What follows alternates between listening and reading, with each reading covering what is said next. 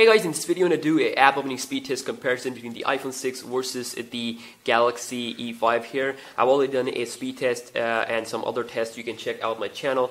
But anyways, let's just start off with these uh, phones. So I'm going to just close up everything in the background.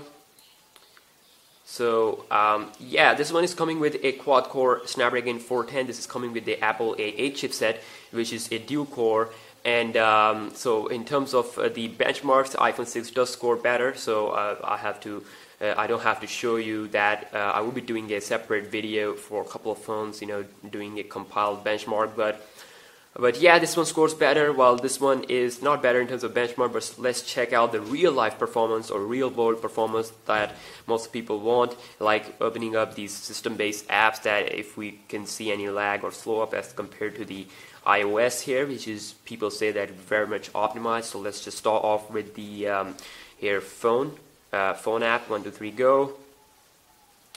So I think the iPhone 6 was a little bit quicker there. Let's just try it one more time. I'm gonna just close this again. Um, let's just do this again. One two three go. And again, the iPhone 6 was quicker.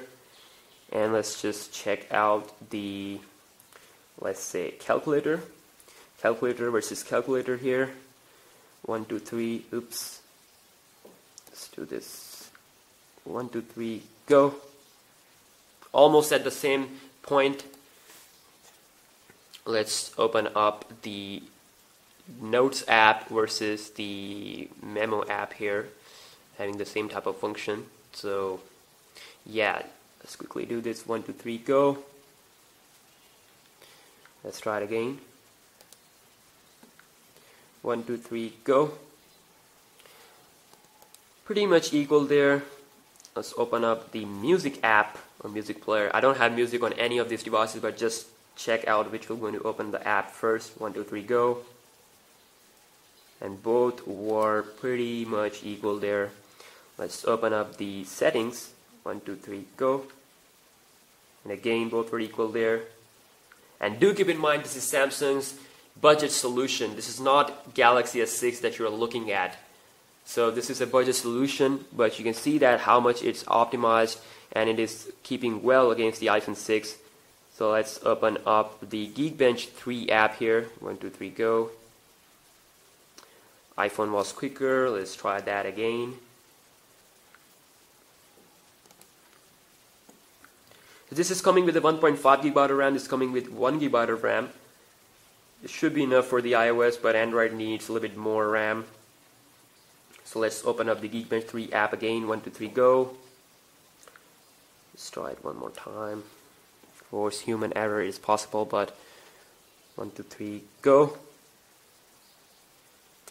And again, I think the iPhone 6 is a little bit quicker, but but you can see that this is uh, a 380 or 70 dollar phone versus a 700 plus dollar phone here that is also really bit amazing for the here Samsung phone let's open up the photos versus the gallery app let's see which we're going to lower the photos first one two three go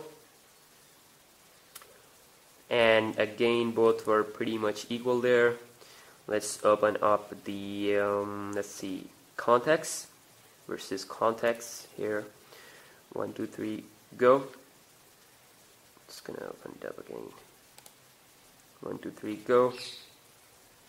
Both were equal there. I think the iPhone 6 was little, little bit faster, but you can see that it is a very negligible difference, almost split second. You can see that very amazing speed, very amazing. So let's open up the camera here on both devices. See which device we're going to load the camera first. One, two, three, go. iPhone 6 was quicker. Let's switch to the back camera. And let's launch this camera again. So one, two, three, go. And again, iPhone 6 was quicker. One, two, three, go. Okay. Close this one. I'm going to try it one more time. Okay, one, two, three, go. Yeah, the iPhone 6 is quicker there, but you can see that uh, there's not that much difference like people are saying that it is a lag phone or stuff like that. It is not lag. It is well optimized and it is coming with the 4.4.4. Of course, we're going to see Lollipop with uh, a lot of new changing and uh, yeah, it is good as compared to the iPhone 6. So uh, do let me know the, uh, what you know about this uh, phone here, Galaxy E5, in terms of the speed, real life speed as compared to the iPhone 6.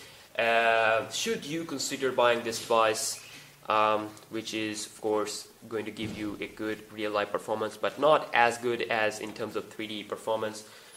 But you know that's completely up to you. But if you want to check out my tests uh, that also I'm going to do in the future, the camera test, then do subscribe to my channel. And yeah, I will see you next one.